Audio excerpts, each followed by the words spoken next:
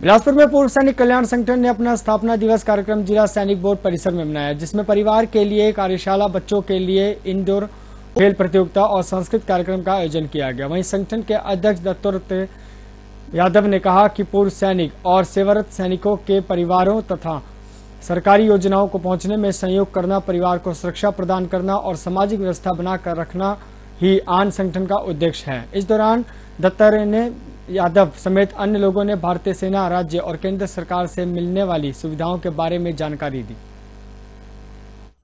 आन संगठन में आर्मी एयरफोर्स नेवी तीनों के भूतपूर्व सैनिक और उसके परिवार हैं।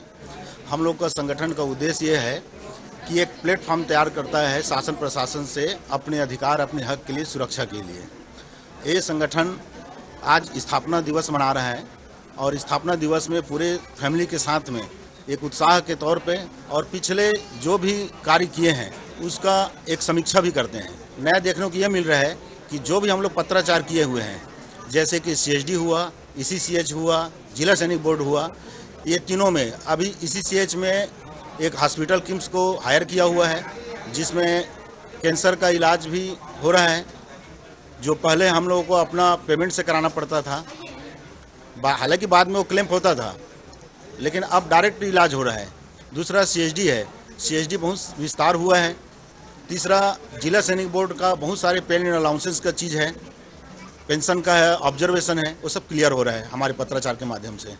आज हम यहाँ आन के सभी सदस्य, हमारे समिति के पूरा मेंबर्स, फैमिली मेंबर्स, स्थापना दिवस मनाने के लिए आए हैं।